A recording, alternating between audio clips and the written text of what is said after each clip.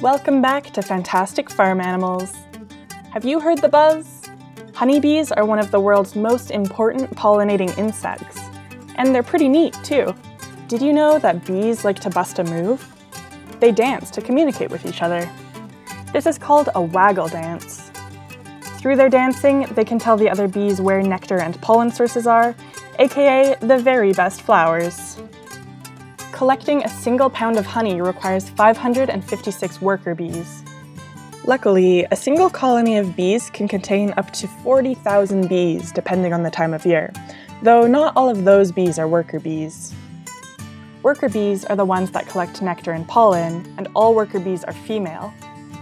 Male bees in the hive are called drones. That just leaves Her Royal Highness the Queen. The queen bee is the only bee in the hive to lay eggs, and there's only one queen per hive.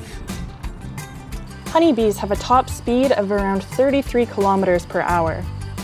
Flying isn't the only way they get around though. Beekeepers can help out their bees by giving them a ride in their trucks. This truck of bees is headed to help pollinate a canola field. Bees love canola flowers because of how much nectar each flower has.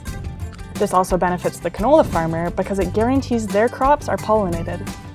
It benefits beekeepers too, because their bees collect tons of delicious canola nectar to turn into honey. After bees have done the hard work of collecting nectar and storing it in a honeycomb, beekeepers can collect the honey. They do this by extracting the honeycomb from the frame and scraping off the waxy cap that keeps the honey sealed in. They can then extract the honey. Then it's strained, bottled, and heads to a store. From there, it eventually ends up in your home and in your belly, these truly are fantastic farm animals.